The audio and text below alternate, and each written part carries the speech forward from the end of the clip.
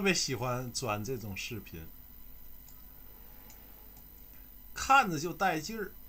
我还读愿意读这个视频下面的评论，读着就过瘾。啊，这个您看到啥了？我看这么多好姑娘干这个，少了多少可以养育后代、贤妻良母？她们一旦生孩子，还能保持这样的工作吗？应该立法，为了祖国的未来，女士因为抚育孩子不能上班的。一律保留原来工资待遇，直到孩子成人，设专门机构统一解决。这个不是勉为其难，是可以做到的。服务没有终点，您的满意就是我们前进的动力。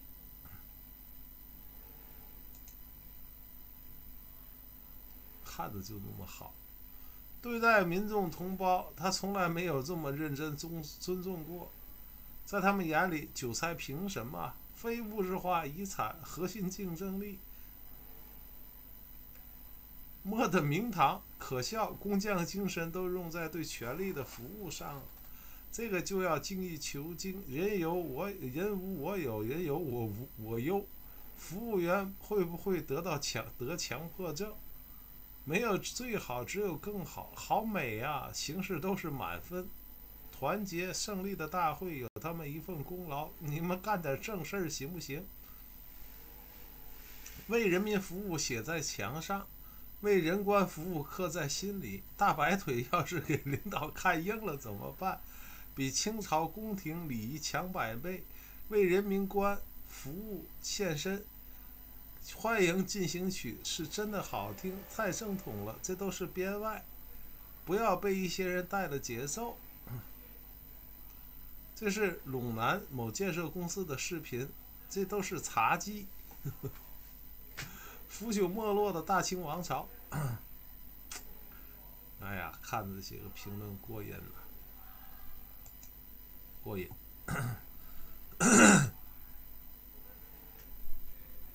宫女的素质还是可以的，向上没有终点。什么狗屁企业，净搞这些事儿。啊，这是人大代表开会开始前的节奏啊！为权贵服务没有终点。为什么不能喝喝矿泉水？因为不热。为什么一定要喝热水？因为不喝会死。卡美国脖子已经卡了七十多年了。工艺精工匠精神，精益求精，求精无止境。好像有句话叫“脱裤子放屁”，比比美的先进多了。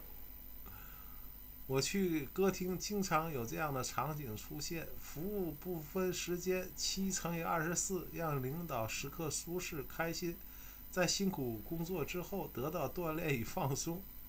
对上绝对不能马虎。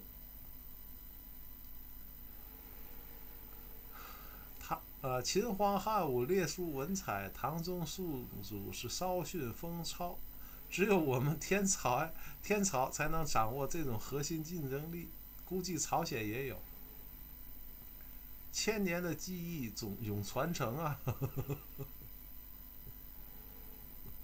扯这些个没用的可来劲儿了，凶器都是一样的饱满。腐臭的匪徒大会。